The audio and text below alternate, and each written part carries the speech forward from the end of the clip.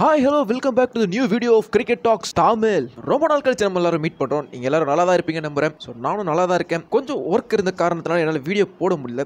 So இனிமேல் weekly once கண்டிப்பாக நான் வீடியோ போட போகிறேன் ஸோ இன்னைக்கு வீடியோ நம்ம எதை பற்றி பார்க்க போகிறோம் அப்படின்னு கேட்டிங்கன்னா Chennai FC versus Mumbai City FC இந்த மேட்ச் ஐஎஸ்எல் நடக்க போகுது. ஸோ இந்த மேட்சோட ப்ரிவியூ அண்ட் மேட்ச் ப்ரிடிக்ஷன் அதாவது மேட்ச்சில் என்ன ஸ்குவாட் யூஸ் பண்ண போகிறாங்க என்ன டாக்டிக்ஸ் யூஸ் பண்ணுவாங்க ரெண்டு டீம் அதை பற்றி தான் நம்ம இந்த வீடியோவில் பார்க்க போகிறோம் வாங்க வீடியோக்குள்ளே போகலாம் சென்னை எஃப்சி பார்த்தீங்கன்னா இந்த சீசனில் மூணு கேம் விளாண்டுருக்காங்க மூணு கேமில் மொதல் மேட்ச் வின் பண்ணாங்க. ஸோ செகண்ட் கேம் ட்ராப் பண்ணாங்க. அண்ட் தேர்ட் கேமில் வந்துட்டு பெங்களூர் எஃப்சி கூட லூஸ் பண்ணாங்க. அதுவும் இல்லாமல் லாஸ்ட் கேம் அனிருத் தாப்பாக்கு ஒரு இன்ஜுரி வேறு இருந்துச்சு. ஸோ அதனால் இந்த கேமில் வந்துட்டு ஒரு சில சேஞ்சஸ் எக்ஸ்பெக்ட் பண்ணலாம். ஸோ எனக்கு மேட்சோட ஃபார்மேஷன் எப்படி இருக்க போது அப்படின்னு கேட்டிங்கன்னா four two three one formation தான் கண்டிப்பாக ஷாபா லாஸ்ட்டில் வந்துட்டு ப்ரிஃபர் பண்ணுவார்.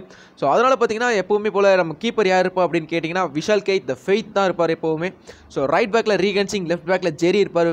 சென்டர் பேக்ஸில் வந்துட்டு எலிசாபியான் இனஸ் இப்போ இருப்பாங்க ஸோ இந்த ரெண்டு டிஃபென்சிவ் மிட்ஃபீல்டில் யார் இருப்பா அப்படின்னு கேட்டிங்கன்னா ஒன்று வந்துட்டு தீபக் டாங்கரி கன்ஃபார்மாக இருப்பார். அடுத்தது வந்துட்டு அனிருத் தாப்பாக தான் ஆடிக்கிட்டு இருந்தார் லாஸ்ட் த்ரீ கேம்ஸாக வந்துட்டு. பட் லாஸ்ட் கேமில் அவர் வந்துட்டு இன்ஜுரி காரணத்தினால எட்வின் சப்ஸ்டியூட்டாக உள்ளே வந்தார். மேபி இந்த கேமில் வந்துட்டு எட்வின் ஸ்டார்ட் பண்ணலாம். இல்லாட்டி அந்த பொசிஷனில் ஜெர்மன் பிரீத் ஸ்டார்ட் பண்ணலாம். மேபி தன்பால் கணேஷ் கூட வாய்ப்பு கொடுக்கலாம். ஏன்னு கேட்டிங்கன்னா எட்வினுக்கும் ஜெர்மன் பிரீத்துக்கும் வாய்ப்பு கொடுத்துருந்தாரு ஷாபாலாஸில் இதுக்கு முன்னாடி ஸோ இது வரைக்கும் தன்பால் கணேஷ் ஸ்டார்ட் பண்ணவே இல்லை. ஸோ அதனால் அவர் ஸ்டார்ட் பண்ணுறதுக்கான வாய்ப்புகள் அதிகமாக இருக்குது அடுத்து பார்த்தீங்கன்னா அட்டாக்கிங் மிட்ஃபீல்டில் எப்பவும் போல நம்ம கேப்டன் மாஸ்டர் ரஃபா தான் விளையாட போகிறாரு அடுத்து லெஃப்ட் மிட்ஃபீல்டில் வந்துட்டு லாலன்சுலா சாங்தே தான் விளையாடுவார். ரைட் மிட்ஃபீல்டரில் வந்துட்டு இஸ்மா விளையாண்டார் அண்ட் சென்டர் ஃபார்வர்டில் யக்குப் சில்வஸ்டர் விளையாண்டாங்க. ஸோ இணை கேமில் வந்துட்டு ஏதாவது ஒரு சில சேஞ்சஸ் எக்ஸ்பெக்ட் பண்ணலாம். ஏன் அப்படின்னு கேட்டிங்கன்னா இஸ்மா வந்துட்டு ஃபஸ்ட் கேமில் இருந்த அவரோட பர்ஃபார்மன்ஸ் அதர் டூ கேம்ஸில் அந்தளவு பெருசாக காட்டல. அதே மாதிரி யக்குப் சில்வஸ்டர் கூட சான்சஸ் அவ்வளோவா கிடைக்கல. அவர் தனியாக தெரிஞ்சார். ஸோ அதனால் என்ன பண்ணலாம்னா பத்குலோ ஃபட்லே வந்துட்டு கண்டிப்பாக இந்த கேமில் உள்ளே கொண்டு வரலாம். அவரை வந்துட்டு ரைட் விங்கரில் விளையாட வச்சு யக்யூப்க்கு பதிலாக இஸ்மா வந்துட்டு சென்டர் ஃபார்வர்டாக விளையாட வைக்கலாம். ஸோ என்ன கேமில் இதுதான் சேஞ்சஸாக இருக்கும் எனக்கு தெரிஞ்சு. மேபி ஷாபா லாஸ்டர் இதே லாஸ்ட் கேமில் இருந்த அதே ஸ்குவாடை வச்சே பர்சேஸ் பண்ணுறதுக்கான வாய்ப்பு கூட இருக்குது. ஸோ மேபி என்னோடய திங்கிங் என்ன அப்படின்னு கேட்டிங்கன்னா four two three one formation use பண்ணுறது போல் இப்போ அனிருத் தாப்பாக்கு ஒரு இன்ஜுரி இருக்க காரணத்தில் மேபி சிஎஃப்சி வந்துட்டு four four two formation try பண்ணலாம். ஸோ அப்போ என்ன ஆகும் அப்படின்னு கேட்டிங்கன்னா அட்டாக்கிங்கில் ரெண்டு பிளேயர்ஸ் இருப்பாங்க. ஸோ அதனால் வந்துட்டு யக்குப் சில்வஸ்டர் வந்துட்டு தனியாக இருக்கும்போது ஒரு ஃபீல் ஆகாது. அவர் கூட வந்துட்டு ரஹீம் அலியை உள்ளே கொண்டு வரலாம். ஸோ அந்த ஃபார்மேஷன் கூட அவங்க ட்ரை பண்ணி பார்க்கலாம். ஸோ பார்ப்போம் என்ன பண்ணுறாங்க அப்படின்னு சொல்லிட்டு. ஸோ நம்ம நெக்ஸ்ட் கண்டென்ட்டுக்குள்ளே போகிறதுக்கு முன்னாடி ஒரு சின்ன ஒரு ரெக்வஸ்ட் நம்ம சேனல் இது வரைக்கும் நீங்கள் சப்ஸ்கிரைப் பண்ணாமல் இருந்தீங்கன்னா மறக்காமல் சப்ஸ்கிரைப் பண்ணிக்கோங்க. சப்ஸ்கிரைப் பண்ணிட்டு மறக்காம பெல் பட்டில் ஆலில் வச்சுக்கோங்க. அப்போ தான் நம்ம சேனலில் வர நோட்டிஃபிகேஷன் எல்லாமே உங்களுக்கு கரெக்டாக டான் டான் வந்து நிற்கும் ஸோ மறக்காமல் do subscribe to cricket talks Tamil நீங்கள் மட்டும் சப்ஸ்கிரைப் பண்ணாமல் உங்கள் ஃப்ரெண்ட்ஸ் எல்லாரையும் சப்ஸ்கிரைப் பண்ண சொல்லுங்கள் please subscribe to cricket talks Tamil on the நீங்கள் அப்படியே மும்பை சிட்டி எஃப்சியோட ஃபார்மேஷன் எப்படி இருக்க போகுது அப்படின்னு கேட்டிங்கன்னா அவங்க four two three one formation same formation தான் யூஸ் பண்ண போகிறாங்க ஏன்னா கோச் செர்ஜியோ லெபரோ எஃப்சி கோவாவில் இருக்கும்போது அதே தான் பெர்சிஸ் பண்ணார். ஸோ இந்த வாட்டி அதே தான் அவர் பெர்சிஸ் பண்ணிகிட்டு இருக்காரு.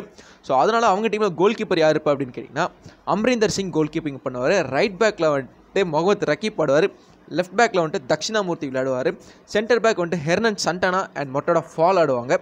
டிஃபென்சிவ் மிட்ஃபீல்டரில் பார்த்தீங்கன்னா ரவுலின் போர்ஜஸ் அண்ட் அதுக்கப்புறம் அக்பத் ஜாஹூ ரெண்டு பேரும் டிஃபென்சிவ் மிட்ஃபீல்டில் ஆடுவாங்க. அடுத்து ரைட் மிட்ஃபீல்டர் யார் அப்படின்னு கேட்டிங்கன்னா பிபின் சிங் விளையாடுவார் லெஃப்ட் மிட்ஃபீல்டில் வந்துட்டு மந்தார் ராவ் தேசாய் விளையாடுவார் அண்ட் அட்டாக்கிங் மிட்ஃபீல்டர் வந்துட்டு ஹியூகோ போமஸ். அண்ட் அட்டாக்கிங்கில் வந்துட்டு அதாவது சென்டர் ஃபார்வர்டில் வந்துட்டு ஆடம் லிஃபாண்டர் விளையாடுவார். ஸோ இப்படி தான் மும்பை சிட்டி எஃப்சியோட ஃபார்மேஷன் இருக்க போது அண்ட் பிளேயிங் லெவன் இருக்கும். ஸோ இதை தவிர்த்து பார்த்திங்கன்னா அவங்களோட சப்ஸ்டியூட்ஸ் கூட நல்ல ஸ்ட்ராங் பிளேயர்ஸ்லாம் இருக்காங்க. அதாவது கொடாட் இருக்கார் அதுக்கப்புறமா வந்துட்டு ஃபருக் சௌத்ரி இருக்கார். அதுவும் இல்லாமல் வந்துட்டு பாத்மில் ஒகுபெச்சே இருக்கார். ஸோ இந்த மாதிரி பிளேயர்ஸ்லாம் இருக்கிறாங்க ஸோ நல்ல ஸ்ட்ராங் லைனப்பாக தான் இருக்குது.